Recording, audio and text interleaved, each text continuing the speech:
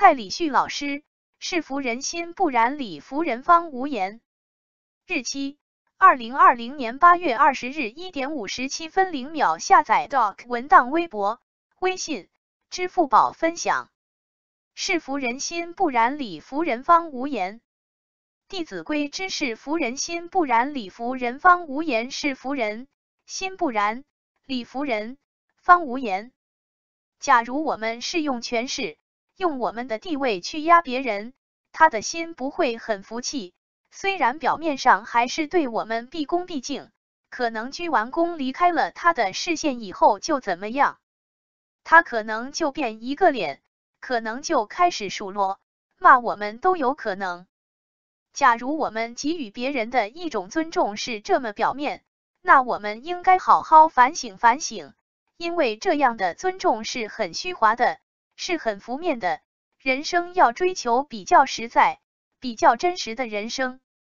有一个小朋友他就说道：“妈妈打我，就是从小成长过程。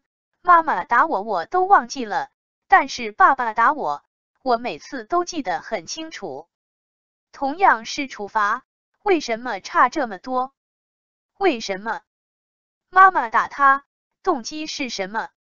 是爱护他，是管教他，所以打完之后，他心里也明白自己错了，反而会去改正。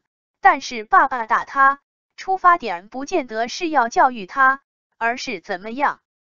可能脾气一来就打他一顿，他的心里很不服气，所以每次都记得很清楚。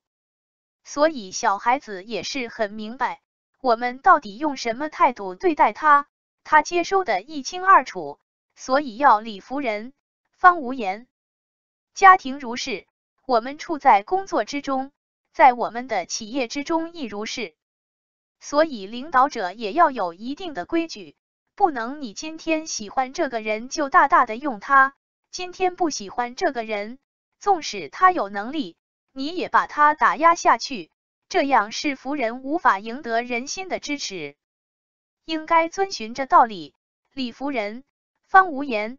要用平等，才能让人心平和；要用关怀，要用爱敬，才能让整个团体气氛愈来愈祥和，愈来愈和善。纵观中国几千年的历史，只要用权势、用武力把天下打下来的那个朝代的时间都怎么样？